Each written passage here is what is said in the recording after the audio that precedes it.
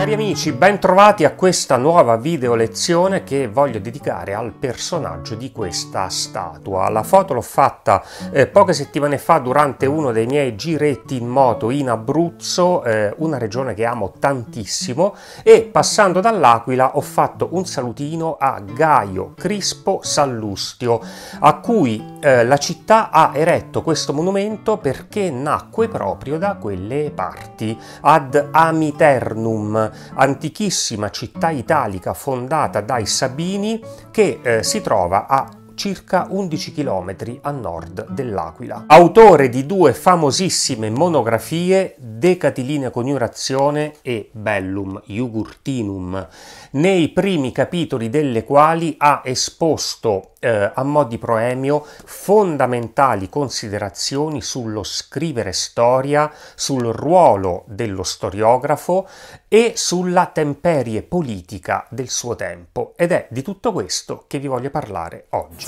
Abbiamo parlato di storia, ma quale storia? Beh, quella a lui contemporanea, 86-35, questo l'arco della vita di Sallustio, un'esistenza trascorsa sullo sfondo di una sequela di avvenimenti tragici. La lotta fra Mariani e Sillani, la dittatura di Silla e le liste di proscrizione, la guerra sociale, la rivolta di Spartaco e degli schiavi, la guerra fratricida tra Cesare e Pompeo, le idi di marzo del 44 e alla fine già si profilava all'orizzonte una nuova guerra civile, quella tra Antonio e Ottaviano. Insomma, una vita vissuta in un'epoca tempestosa e feroce. Dovete tenere ben presente questo sfondo storico per capire l'opera di Sallustio e anche quella sua inconfondibile patina di eh, disillusione e disincanto che conosciamo come pessimismo sallustiano. Nato da un'agiata famiglia plebea, era insomma un benestante provinciale, tant'è che poté permettersi di studiare e poi di recarsi a Roma per intraprendere il cursus honorum. Ma era homo novus e aveva quindi bisogno di qualcuno che lo sponsorizzasse e prendesse sotto la sua ala. Il qualcuno fu proprio Cesare e da quel momento Sallustio divenne cesariano di ferro. Non pensiamo però che Cesare sia stato per Sallustio soltanto una eh, ghiotta opportunità di far carriera. Lo storico gli fu sinceramente legato da stima e amicizia, anche perché vedeva in lui un ideale il riformatore della crisi dei valori e del malcostume imperante, eh, tra poco vedremo cosa intendeva Sallustio per crisi dei valori, e soprattutto il ehm, democratico ma non rivoluzionario. Così sempre al fianco l'uno dell'altro è però indubbio che entrambi trassero vantaggio da questa alleanza. Quando nel 52 Publio Clodio, il demagogo di parte cesariana, fu ucciso dalle bande di Milone, Sallustio era tribuno della plebe e riuscì a far condannare l'assassino. E sapete chi era il suo avvocato difensore? Cicerone, che subì questo smacco nonostante la sua bella arringa difensiva. Ma Cesare ebbe presto modo di ricambiare il favore. Sempre a proposito di Milone, pare che Sallustio se la facesse con la di lui moglie e così nel 50 fu espulso dal Senato probri causa. Ora non sappiamo se si sia trattata di una macchinazione orchestrata ai suoi danni dalla parte pompeiana e dall'oligarchia senatoria, sta di fatto che Cesare riuscì ad intervenire facendolo reintegrare nel Senato due anni dopo e due anni ancora dopo eh, Sallustio ottenne la pretura. Intanto era iniziata la guerra civile tra Cesare e Pompeo. Sallustio, sempre a fianco del suo amico protettore, svolse anche operazioni belliche a comando di un esercito cesariano, ehm, tra cui una fortunata spedizione in Africa nel 46. Per ricompensarlo, Cesare lo fa primo governatore della provincia Africa Nova, l'ex regno di Numidia, lo sfondo geografico del Bellum Jugurtinum. Tornato a Roma ricchissimo all'inizio del 44 fu accusato di peculato, cioè di aver sfruttato la sua carica di governatore della provincia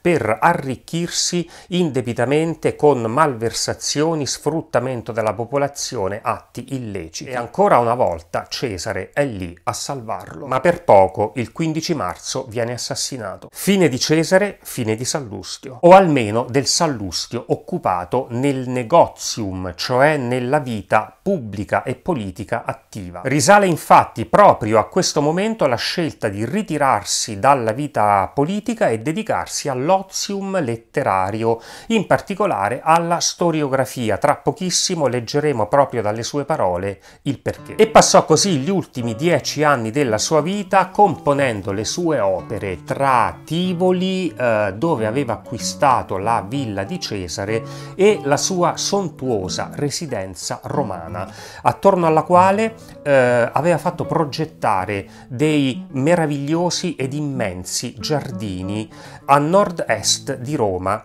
i celebri orti sallustiani.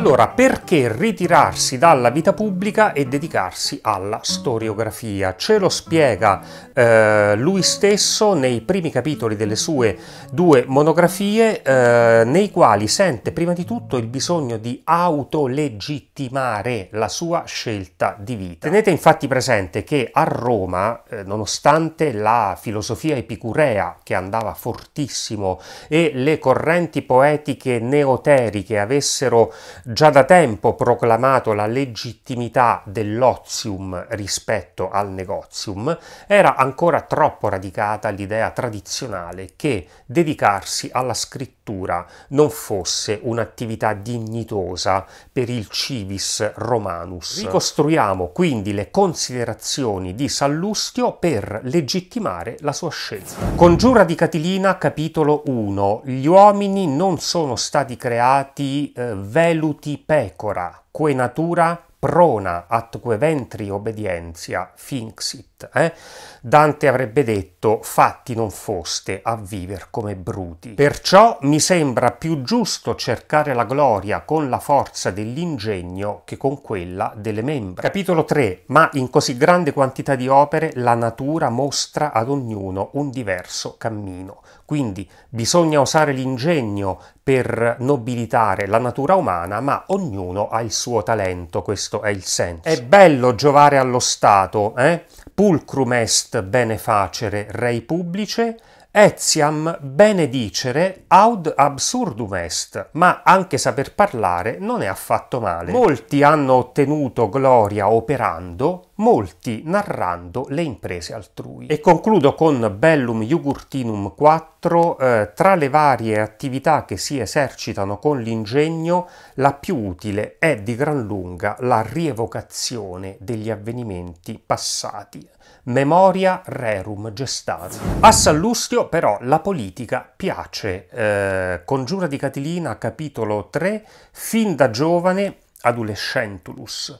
Come il più fui tratto da ambizione alla vita pubblica, studio ad rem publica. Perché allora abbandonarla? Ivi incontrai molte avversità poiché invece della modestia, della parsimonia, del valore regnavano sfrontatezza, prodigalità, avidità. E sentite cosa scrive in Bellum Jugurtinum 3, ai tempi nostri mi sembrano da evitare le cariche politiche, i comandi militari, insomma le attività al servizio dello Stato, dato che gli onori non vanno al merito. Impegnare se stessi senza costrutto, lavorare per non procurarsi che inimicizie, è insensatezza suprema. E 21 secoli dopo non mi sembra che le cose siano tanto cambiate.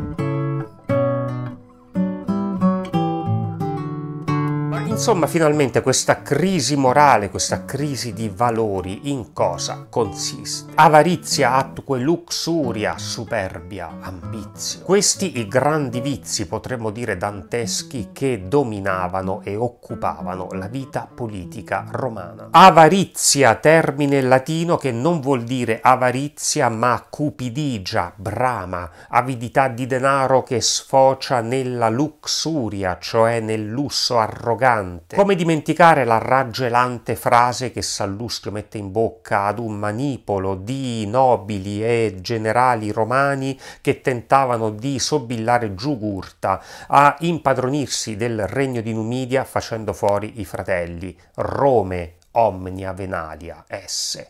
Tanto a Roma è tutto in vendita. Con l'oro si può corrompere chiunque perché di vizie bono onestoque, poziores erant. Superbia è tracotanza, alterigia, eh, sicurezza della propria potenza intangibile. Sul piano dell'etica individuale si contrappone a termini come modestia, moderazio, pudor, ma quando diventa l'atteggiamento di un politico è violazione dei diritti diritti degli umili, prepotenza. È quel brutto vizio tipico dei pauci potentes, l'arroganza del potere. Ambizio, l'ambizione da noi idolatrato come sano valore positivo ha in tutti gli autori latini significato deteriore e in Sallustio è sempre accompagnato da eh, aggettivi spregiativi. Mala ambizio, prava ambizio è la cieca cupido honorum del De Rerum Natura di Lucrezia. È una febbre di emergere, di sovrastare, fuorvia gli uomini dal retto cammino, induce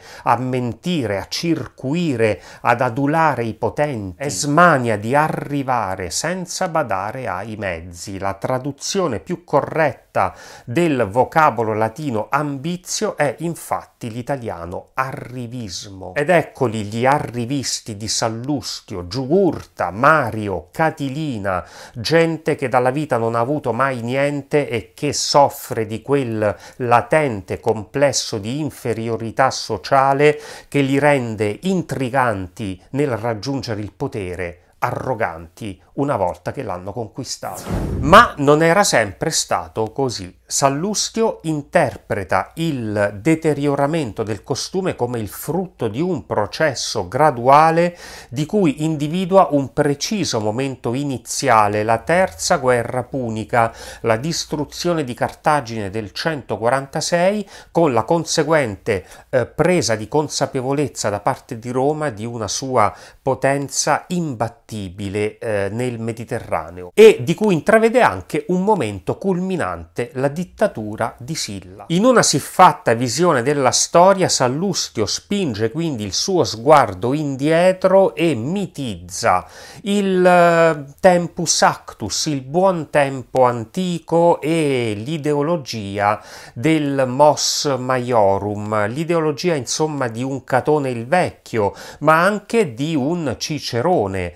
Eh, non c'è bisogno di ricordare che la congiura di Catilina fu il fiore all'occhiello del consolato di Cicerone del 63. Ed ecco la prima grande contraddizione di Sallustio, cesariano di ferro ma con il mito dell'anticesariano per eccellenza, Cicerone. E poi a proposito di avarizia e luxuria, come accusare corrotti e corruttori dopo essersi indebitamente arricchiti con le malversazioni della propria amministrazione in Africa Nord. E infine un'abile mossa, quella di dipingere di nobili motivazioni la sua scelta di abbandonare la scena politica, frutto in realtà di paura, non del disgusto dell'uomo probo e valoroso che Sallustio non era mai stato. Vissuto all'ombra di Cesare, senza di lui e nella Roma feroce di quegli anni ci sarebbero state ottime possibilità di lasciarci le penne. E allora, piuttosto che perdere le proprie, meglio prendere in mano quelle per scrivere scrivere e direi che ha fatto proprio bene. Le sue due monografie, ancorché rivestite di quella patina moraleggiante e un po' tragica, sono due capolavori. Di alcuni personaggi storici, in particolare di Giugurta, ci ha lasciato una caratterizzazione indimenticabile e se avete la fortuna di leggere il latino fluentemente, quello di Sallustio è bellissimo.